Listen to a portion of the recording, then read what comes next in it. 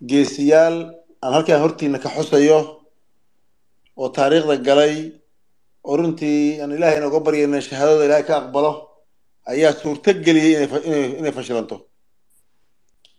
Labo mujaahid oo ciidamada qalabka sida ka mid ah oo taariikhdooda iyo iyo biladahooda iyo abaalmarintooda la soo bandhigi doono haddii ilaa yidhaahdo ayaa runtii ugu weynaa ama ugu ugu horreeyey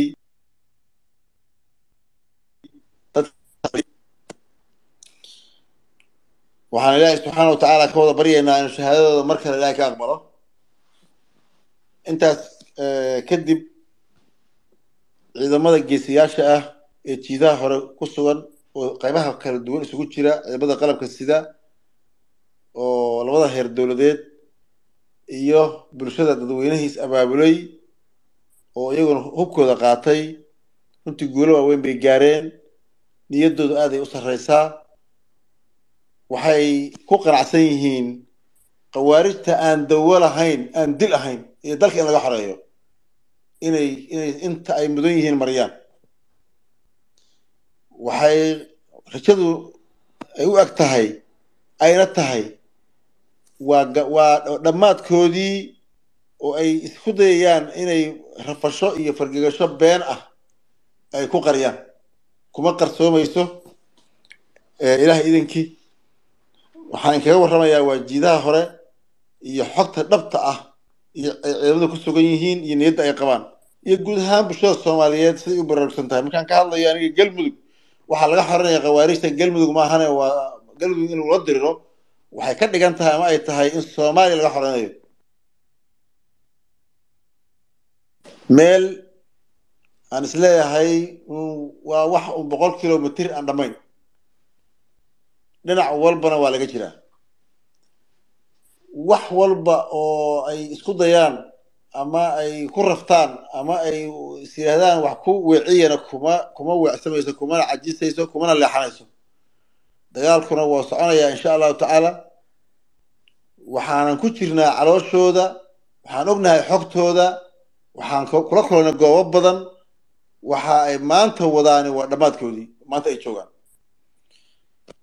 waxaan rabaa inaan halkan hortiina ka bogaadiyo ciidamada geesiyaasha ah ee qalabka sida qaybahooda kala duwan iyo dadka soo baxay ee bulshada deegaanada dagaaladu ay ka socdaan ee sida xoog gale isu abaabulay ee sida xooggan uga qayb galay dagaalka.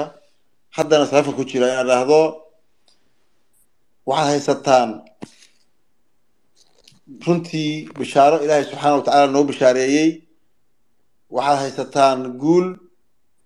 Waxaad gaarteen meelo aan la taaban oo khawaarijta weli la la gaarsiina la gaar- gaarsiiseen. Inta dhimana dhammaystiraan leeyahay. Waxaan rabaa madaxdan sharafta leh halkan ku jirta inaan iyo inta dhegeysanaysaba inaan idhaahdo. Mudanayaal iyo marweyn inaan tagno goobaha dagaalka. Dhinac walbay yihiin. Oon ciidamadeenna iyo bulshadeenna dhiirogelino lana qaybsanno dagaalka khawaarijta iyo guulaha la gaaray. Oo aan runtii eh, ognahay marka ay madaxdu dadka ay dhiirogelinayso ama ay la eh, la jirto joogto goobaha dagaalka. Iyo marka laga maqan yahay ciidamada iyo bulshaduba waxa weeye waa kala duwan yihiin. Marka waxaan su- runtii rabaa inaan uga- faa'iidaysto aan tagno aan galno goobaha dagaalka madaxweynihii jamhuuriyadda ayaa ku sugan galmudug ama runtii jooga muddo dheer galmudug iyo goobo kale oon galmudug ahaynba. Inteenada kale waxaan waajib nagu wada ah wakti intay naga dhumi lahaayeen wakti naga qaada lahaayeen inaan hal mar isu geyno muruqayaga iyo maalkayaga iyo magacayaga iyo miisaankanaga waa gabaabsi waa dhammaad. Guushana biidn illahi tacaala waa la gaarayaa waana la gaaray in badan oo ka mid ah. Waxaa kaliya aan leeyahay waa la gaaraya waxay tahay dhammaystirkoodii inaan dalka ka sifayno. Waa la gaarayaa.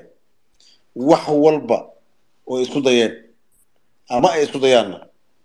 Way oo xumaana oo ay wadi jireen oo caanka ku ahayeenna waa fashilmeen wixii nagu na soo gaarana waxay noo tahay dee mid ka mid ah fursadaha aan haysanno ilaahayna siiyey. Marnaba nama nama nama gelinayso gaabis. Wax walbay sameeyeen ama wax walbay sameeyaan.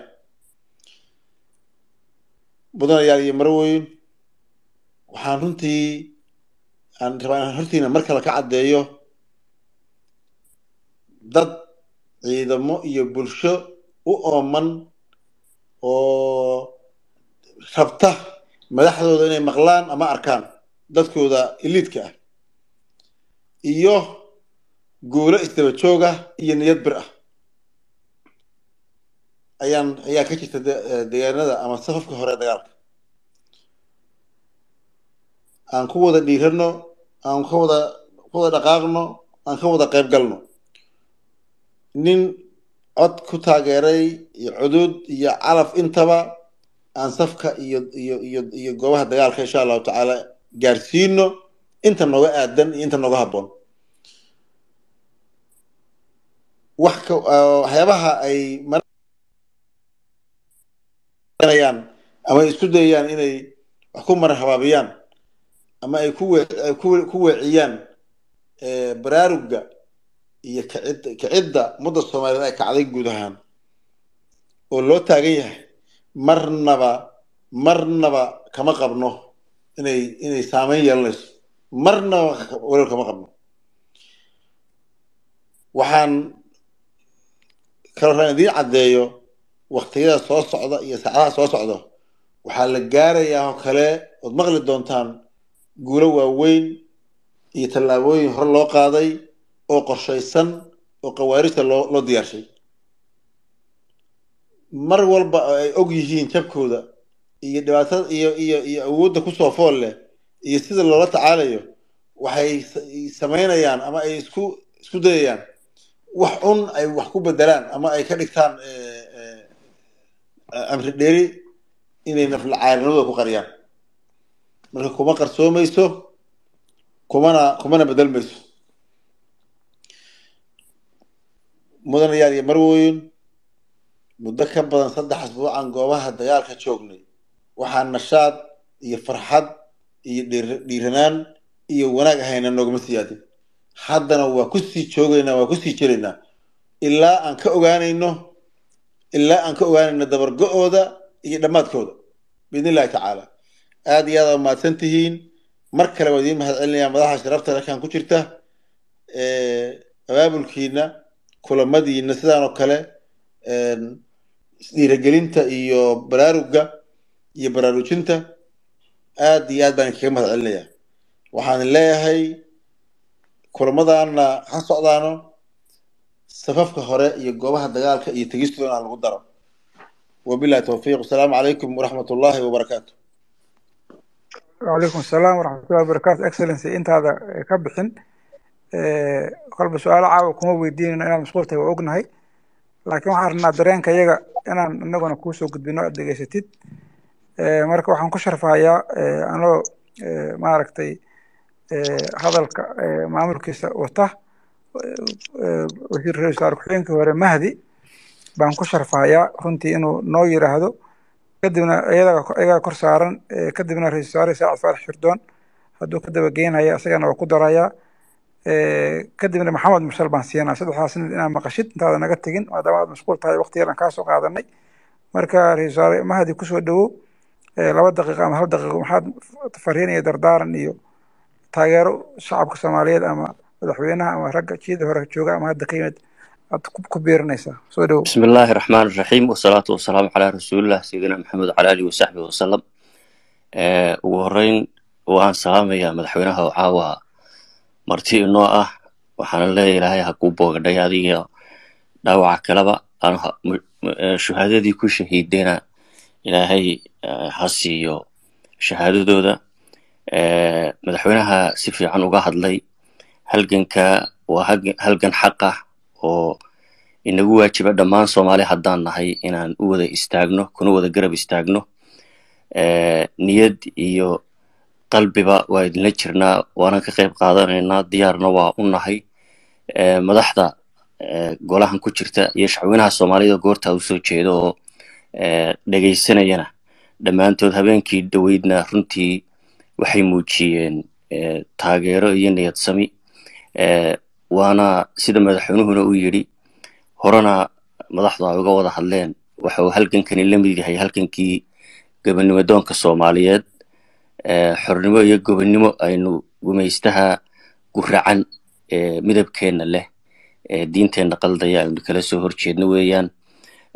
Waa taageeraynaa waanan taageersannahay. Mar walba af iyo adinba intaasaan ku soo gebagabeynaya caawa waxaan doonaya inaynu siino madaxda inagu cusbayd oo ra'iisul wasaare saacid u horeeyo waad mahadsantihiin madaxweyne waan ku garab taagannahay waana kula jirnaa waanan la shaqaynaynaa madaxweynaheena iyo dhammaanteenba ummadda soomaaliyeed. Waa mahadsantihiin. Wasalaamu calaykum waraxmatullahi wabarakaatu si aad la socotaan muddooyinkan dambe ama haddaba uu xusay cabdirashiid waxaan ku jirnay ama aan ku sugnayn furmaha hore ama jiidaha hore ee dagaalka lagula jira khawaarijta. Ilaahay baa mahad dhammaanteed leh guulo badan baa la gaaray deegaano badan baa laga xoreeyey dhibaato badanna waa loo geystay. Cadowgana niyad jab iyo waxay ku jiraan inay dhibaatadooda isku dayaan inay qariyaan. Mase mase qarsoomayso? Intaas kadib waxaan rabaa inaan ka mahad marka hore sida cabdirashiid sheegay isku daygii ficiladoodii xumaa iyo dhaqankoodii xumaa maanta mid ka mid a isku dayeen ilaahay waa fashiliyey subxaana watacaala iyo ra-isul wasaare cali geedi iyo walaalkii cabdikariim waa siinaya adoo iga raaliya madaxweyne qoorqoor oo igu dulqaadanaya inkastoo balantu saas aysa ahayn inaan ku fasaxno qorsho u ahaa marka kusoo dhawow gudoomiye mursal بسم الله الحمد لله والصلاة والسلام على أشرف الأنبياء والمرسلين سيدنا محمد وعلى آله وصحبه أجمعين dhammaantiin waa salaamintiin waxaan si gaara u salaamayaa madaxweyne qoorqoor marka hore waxaan leeyahay waxaad ku jirtaan jihaad. Jihaadka aad ku jirtaan annagana waa idinkula jirnaa shacabka soomaaliyeed guud ahaan. Jihaadkaasi way ku jiraan niyaddooda iyo quluubtoodana. Idinkay idinla joogtaa intii jihaadkaasi ku shahiidayna ilaahay naxariisi jannaha ka waraabiyo inta ku dhaawacantayna soo kabasho degdega ayaan ilaah uga rajaynaynaa. Mudane madaxweyne annaga waxaan aaminsannahay shacabka soomaaliyeed maanta dhammaantood yacni waxay aaminsan yihiin in laga badin karo oo lala dagaalami karo laga sifayn karo soomaaliya. Qof walbana maanta wuu ku qancay. Dagaalkaasi ka bilowday dhinacaas hiiraan ilaa hadda socda oo madaxweynaha jamhuuriyadda federaalk soomaaliya hogaaminayay taliyaha guud ee ciidamada qalabka sida soomaalida waxbay ku barteen waxay garteen in laga adkaan karo khawaarijta in la iska celin karo. Marka waxaan aaminsannahay in la guulaysan doono. Intii dhimatay mar labaad ilaahay u naxariisto. Inta kalena dee ilaah waxaan ugu rajaynaynaa soo kabasho degdega inta dhaawacantay. Aad iyo aadaan umahadsan tahay waktigaa waktigaaga oo warbixintaada iyo aadna siisayna waa ku mahadsanta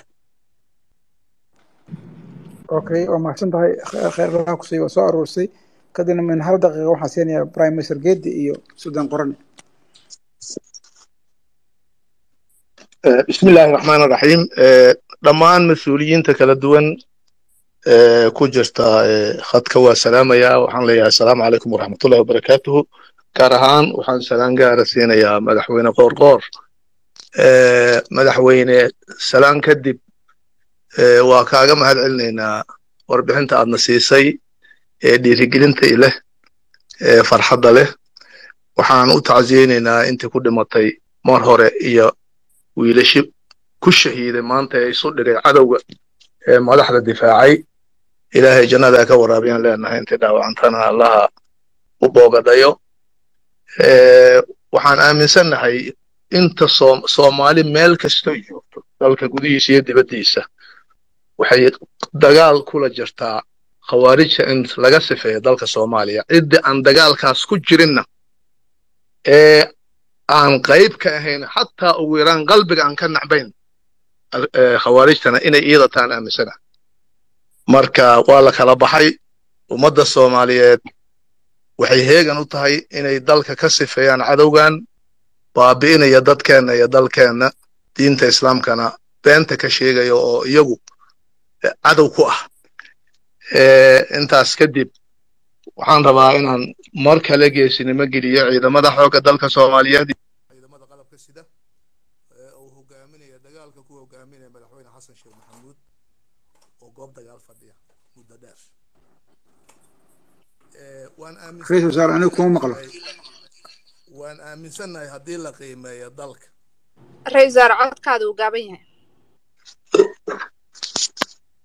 sidee la ii maqlaa hadda? Waxaan aaminsanahay haddii la qiimeeyo dalka dagaalada ka socda waxa af ingiriiska lagu yidhaahdo khawaarijtu waxay marayaan waxa af ingiriiska lagu yidhaahdo waa the kick of the dying horse haraantida faraska dhimanaya. Waa naflacaari neef neef gowracangeeda kama waabto waaye iyagu waxay ku shaqaynayaan guulaha ay gaarayaan ciidamada. Dagaalka ku jirana waan arkaynaa oo ay hogaaminayaan madaxda kala duwan. Been ayay ka sheegayaan waan arkaynaa miidiyada. Dad baa cadowga taageersan iyagaana cadow ah kuwa taageersano waxaan arkaynaa beenta laga sheegaya ceel la helay oon arkayna nimanka sida loogu baaba'shay meydkooda tuban. Oon ognahay waxa ku gaaray khasaare ognahay ama ha ahaato dagaal kama dhicin laasgacmay waxay aheeday qaraxii fulinimada ahaa ayuu ahaa. Wiilal baana isu dhigay oo ku shahiiday oo jannada ku tegaya waad maqlayseen ilaahay ha u booqdho inta dhaawaca intii dhimatana allah u naxariisto laakiin ma qalbi jebin karaan waxaas waxaa noocaasi. Cadow jabay ee naflacaari ah. In nanoo buunbuuniyo ee la yidhaahdo waa soo rogaal celiyeen iyo waxbay qabanayaan iyo dhulbay ay dib u qabsadeen. Waa been kuwa beentaa abaabulaya ee buunbuuninaya. Iyagaa al-shabaab ee hortaa loo aqoonsado hay'adaha amniga iyo shacabka soomaaliyeedna ha ogaadaano. Intaas horta waxaan rabaa inaan ku dhiirigeliyo ciidamadeenna sida uu sheegay madaxweyne qoorqoor maamulkaaga madaxweyne iyo shacabka galmudug dowrka ay ku leeyihiin iyo madaxda labada aqal ee baarlamanka iyo xukuumadda iyo maamul goboleedka iyo ciidamada qalabka sida madaxdooda dagaalka goobihiisa wada joogana waan arkaynaa waana hambalyaynaynaa borobaganka iyo beenta ummadda leesaga hor keenayaan cid dheg u dhigaysa ma jirto. Waxaasoo dhan waxaan rabnaa in ummadda soomaaliyeed ay dhegaha ka xirato ee sidii lagu cirib tiri lahay cadowgaas aan ka wada shaqayno. Baaqaagii ahay hala yimaado goobaha dagaalkana waa ballan waa ku ballansannahay mas'uuliyiinta ku midaysan golahan ood og tihiin shaqooyinka ay idiin hayaan. Muqdishoan ku wada ballansannahay goobaha dagaalku waa badan yihiin waana badan doonaan si loo cirib tiro khawaarijta waana la wada tegayaa. Weliba waxaan ku dari lahaa haddii muqdisho la isugu tago goob kastee dagaal ka socdo mas'uuliyiin soomaaliyeedoo u dhan inay wada tagto ee aan deegaanka dagaalku ka socda iyo maamulkiisa iyo shacbigiisa iyo ciidamada aan lagu hadlayn. Sidaasaan ku tali lahay goob kastoo dagaal ka socda inaan tagno inaan shacabka geesinimo gelino ciidamada geesinimo gelino qayb ka noqono guusha ummadda soo hoynaysa. Aan ku tali lahay aad iyo aad aan u mahadsan tihiin waana idin wada salaamaya wasalaamu calaykum waraxmatullahi wabarakaatu waa mahadsan tahay madaxweyne qorqoor raalli ba ahaanaysaa caawa runta hiilkaaga iyo gurmudkaaga loosoo meesha loo soo buuxiyey. Saaxiibada oo dhan baa soo galay raiisul cabdiweli waa ii muuqdaa madaxweyne waara waa ii muuqdaa sheekh cabdiqani qorne baan siinayaa kadibna waxaan ku soo gabagabeynayaa madaxweyne cabdikariin guuleed iyo madaxweyne waare iyo ra'iisul wasaare madaxweynaha hore puntland cabdulla cali marka sheekh cabdiqani qorne ku soo dhawow qof kastana waxaan ka codsanaya laba daqiiqo inuu qaato. Sababta madaxweynaha inaan su'aalo iyo hadal ku furi doono fili anamayn laakiin markaa u timaadeen waa khasab inuu idin maqlo oo aad warkiin gaarsiisaan. Soo dhawow suldaan